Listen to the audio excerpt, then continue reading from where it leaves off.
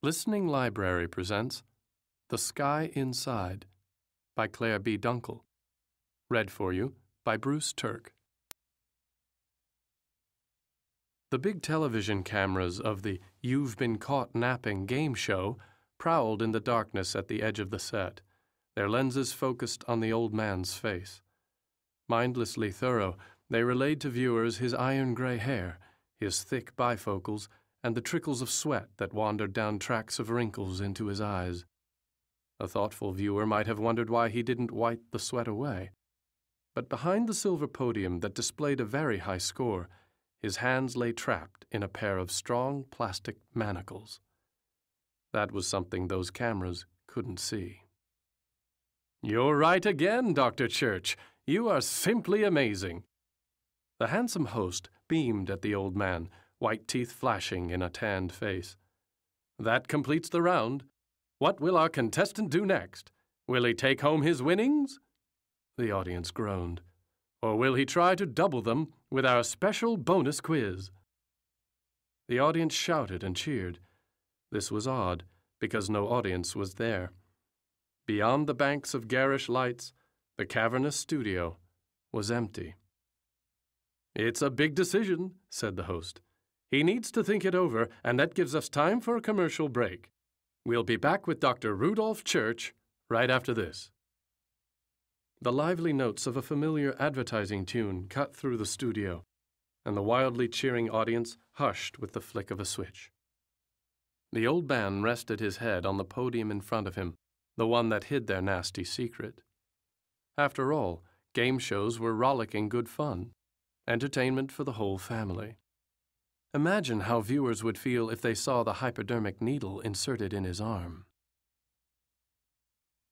Meanwhile, in a comfortable living room, two of those viewers were fighting over the remote. The bigger one snatched it away and triumphantly changed the channel, and a buzzing squadron of red motor scooters charged across the screen. Martin, you jerk, said the girl, flopping back onto the sofa. You always watch these silly races. I wanted to see the rest of that. Mom says no game shows, Martin said smugly. Plus, that one's stupid. Who wrote this? What's the term for that? It's as bad as school. I like it, Cassie said. It teaches me things. And this contestant is amazing. He hasn't been sent off in nine straight shows. Big hairy deal, Martin said, leaning forward to grab her bag of chips. Who cares what happens to one old man? Chapter 1 The first day of spring had come to the suburb, bringing its subtle but unmistakable signs. Martin noticed them right away as he left his house that morning. The recording that played through the neighborhood speakers was different, for one thing. It had lost its spooky, desolate sound, and wiry old Mr. LaRue was kneeling on the sidewalk next door, peeling the glittering snowflakes off his big picture window and sticking a line of pink and yellow flowers there instead. Cassie wanted to watch, so Martin loitered on the sidewalk to let her. He gazed down the curving row of red brick houses that framed the circular street, hooked together so that the garage wall of one became the bedroom wall of the next. The houses had identical windows, identical doors, and identical garage doors. At each garage, the pale gray sidewalk slanted down to the dark gray street so that scooter wheels could roll over it. Then the curb rose again and became level until the next garage. Dip, rise, dip, rise, all around the edge of the street, like a perfect pie crust. In the center of the circle lay the park, with its wide green gravel spaces, dusty baseball field, bonded rubber jogging track, and brightly colored play structures. The exact middle was a fish pond where Dad went to practice casting. Once, this park had seemed like a wonderland to Martin, and it had only recently ceased to be a marvel to his six year old sister. Now it was just the park, a good thing, to be sure, but a place of limited joys. See, directed Mr. LaRue, pausing in his work to glance up at them. See, these are roses, and these are daffodils. He unstuck an orangey yellow flower from the vinyl sheet and carefully smoothed it onto the window glass. They're for spring. It's spring now, you know. The vernal equinox, Cassie agreed. Martin was bored. He had seen a number of springs arrive, had heard the speakers change their music, and watched the plastic flowers go up on front windows across the neighborhood. None of it interested him anymore. Just this year he had begun to grow at a prodigious rate, zooming past his peers, looking down on their hair parts and cowlicks. Not one ounce of weight, it would seem, had come with this growth, so he was beginning to resemble an elasto doll or a spaghetti noodle. His hair was such a dark shade of brown that everyone called it black, and his eyes were such a dark hazel that they looked brown. Only when he was excited did flecks of green and gold light up in them, but that didn't happen very often. Usually, Martin was assessing life cautiously from behind lowered eyelids, thinking of ways to escape class, thinking of plausible excuses for not doing schoolwork, or thinking of the millions of things he would rather do than sit in class and do schoolwork. No spark of color lit his eyes then. Stop looking sullen, his teacher would snap.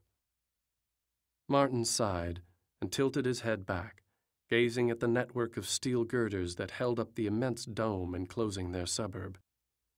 The vast metal structure was painted pale blue with big white splotches wherever the square golden skylights didn't intrude.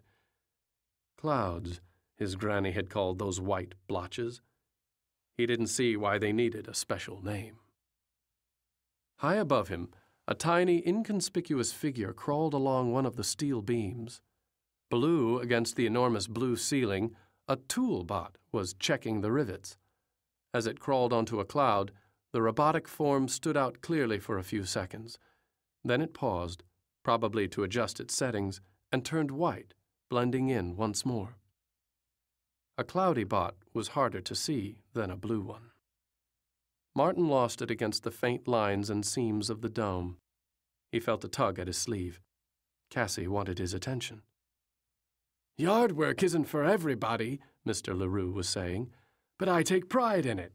Got my lawn all finished. He gestured at a strip of green plastic that fringed the bottom of his house's red brick. Bennett still got his autumn leaves up on his window. It wouldn't kill some people to do a little work around here. Today is Martin's birthday, Cassie said. It's nice that the speakers are playing something pleasant. The old man looked scornful. Birthday's got nothing to do with it. He used a razor blade to remove the last traces of a snowflake's outline. It's the spring song, he said, pointing his razor at the nearest hidden speaker. That's a robin. That's what that is. Cassie tilted her head to listen to the jaunty, careless notes. I don't know how that can be a song, she said.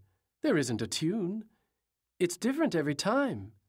Don't contradict me, said Mr. LaRue. Don't you smart kids learn any manners? If I say it's a song, it's a song. And if I say it's a robin, it's a robin. Let's get to school, Martin interrupted, catching Cassie by the strap on the top of her pink backpack and starting to pull her away. Wait, what's a robin? she wanted to know. Is it some kind of woodwind instrument? Or is this another one of those concepts that no one understands anymore? Mr. LaRue dropped his sticker book onto the concrete and glared at her. You damn freaks, he barked. Trust you to take the pleasure out of spring. Cassie stepped behind her brother, and Martin allowed her to hold his hand. Damn? I don't know what that word means, she whispered. Martin, do you know? It means time to go, he said. Then he hauled her away down the sidewalk. But what does it mean? she asked again as they turned the corner and walked away from the park. It's just a bad word. It means you made him mad. She hadn't asked him about freaks, of course.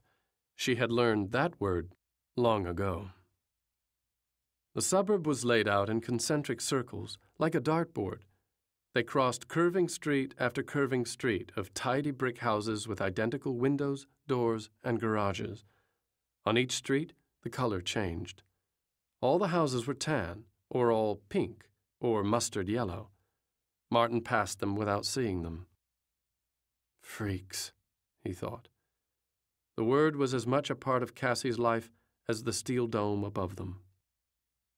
The ads had started running on mid morning television the summer after Martin's fourth birthday. We hope you enjoyed this preview. To continue listening to this audiobook on Google Play Books, use the link in the video description.